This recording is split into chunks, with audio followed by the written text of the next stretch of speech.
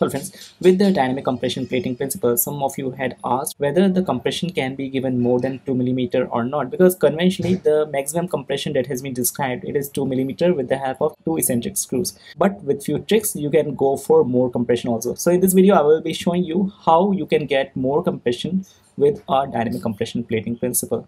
So here you see we have tried to reduce the fracture on the far end we have placed one centric screw and we are going to work on this area for compression. So this is the position of plate we want when the fracture gets perfectly compressed.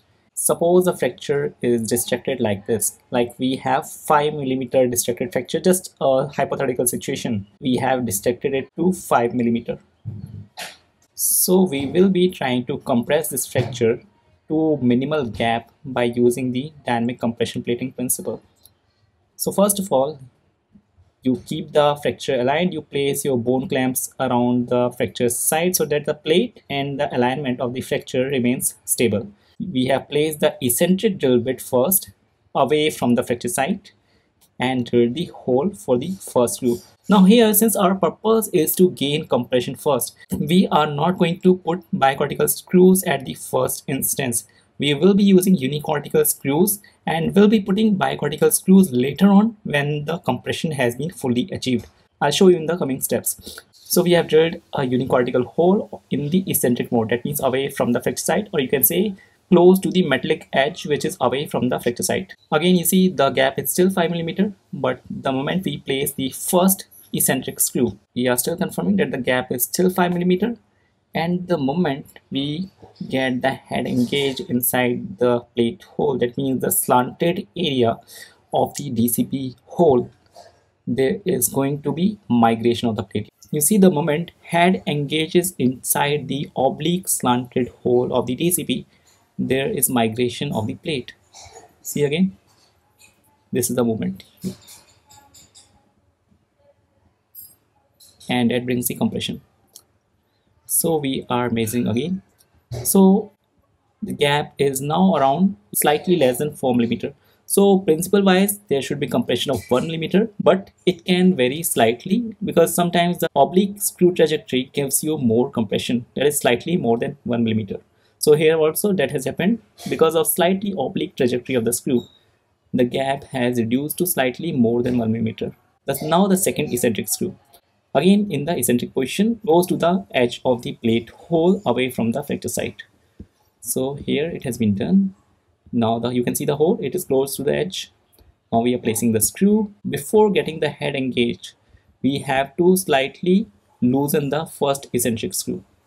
The gap is still around 3 point something and we are slightly loosening the first eccentric screw. We have loosened it so that the head is disengaged from the hole and after that we are going to tighten the second eccentric screw. Gap is still 3 point something. And when we tighten the second eccentric screw you see you see the head is getting engaged. And the moment it is getting engaged like here the plate movement can be seen. You see the plate is moving. So we have further reduced the fracture site gap.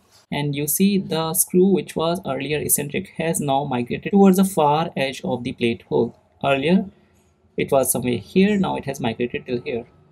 Now here if you are satisfied with this compression then you can simply tighten this screw. But if you want more compression then you will need to remove this screw first. And that was the purpose of unicortical hole. Because since we are going to need more compression we are going to need more compression these holes should not compromise the bone. So unicortical holes for the purpose of getting compression is something that I want so that you place the bicortical screws only once you are sure that the compression is fully adequate. So you see the compression now, it is slightly more than 2 millimeter. The gap is now slightly more than 2 millimeter because of the extra compression that we got from the second screw. It should also be 1 millimeter, but again, slight variation can occur. So earlier, first screw gave us the compression of slightly more than 1 millimeter and second screw gave us the compression of around 1 millimeter. So we are now left with 2 point something gap at the fracture site. And tightening of this screw will not affect the gap at all. You see the gap will remain a 2 point something here as well. But if we want more compression, we have to remove this screw. So we have removed this screw. Now again another eccentric screw in the third hole.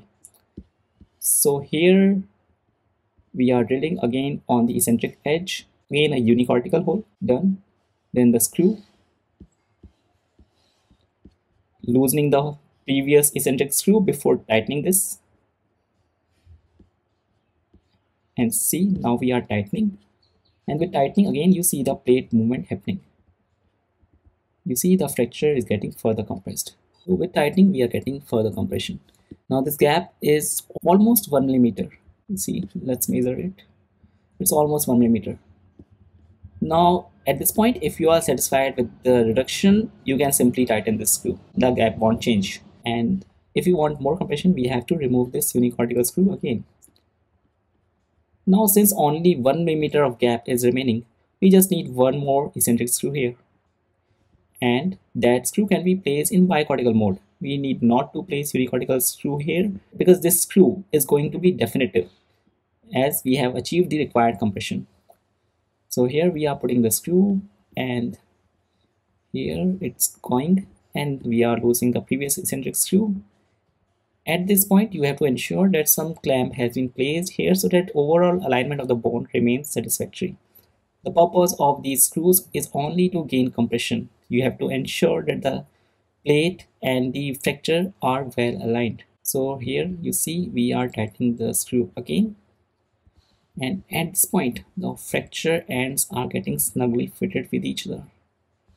Now after this you see the holes of the previous screws have migrated to visibly different positions. Here what you can do if the screw hole is well inside the plate slot then you can put the screw and tighten it to the best position. If the hole is not over the plate slot then what you can do you can simply place another bicortical hole here and put the screw or you can simply keep this hole vacant. And the plate length should be adequate. So here the gap was 5 millimeter. And we were assuming that 1 millimeter compression will be achieved by one eccentric screw. So we chose 5 hole on the opposite side of the fracture. So we chose the 10 hole plate. So if we want more compression the plate length has to be longer. And once the compression has been achieved all the screws can be placed in bicortical mode the screw was bicortical. The this screw can be changed to bicortical. Here also it can be converted to bicortical. We can place a screw in the best fitting position. Here we will have to drill another hole that will be away from the pre-existing hole and this hole is going to be bicortical. So this was a trick by which you can gain maximum compression whatever length you want. Only thing you have to do is to choose a longer plate. So i hope the queries of some viewers regarding the extra compression if they want has been resolved with this video. If you have any doubt you can just put those in comments. Thank you